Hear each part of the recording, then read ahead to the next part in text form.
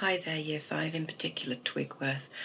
It's been a long time since we've seen you. It's almost, what, eight, nine weeks now?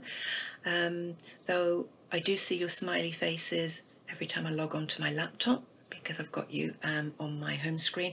And also some of you have been sending me some lovely photos of yourselves. Some of you doing your home learning some of you out and about doing some of you in your gardens doing some of your um, activities or your um, exercising which has been really lovely to see. So thank you very much for sharing those with me.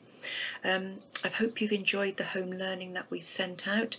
Some of it's been a particularly challenging, some of it's been quite straightforward, and hopefully you found um, stuff in there that you all enjoy. Um, it's been nice to see some of the projects that you've sent through. Um, some of you have been quite inventive, um, so I've enjoyed looking at those.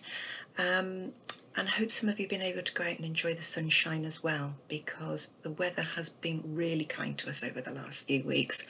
Um, so I hope you've been able to get out in the garden or go for a walk or out on your bikes to actually make the most of it.